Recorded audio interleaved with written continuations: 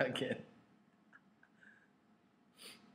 When I see your face, there's not a thing that I would change. Cause you're amazing, just the way you are. Adik sa'yo Awit sa akin.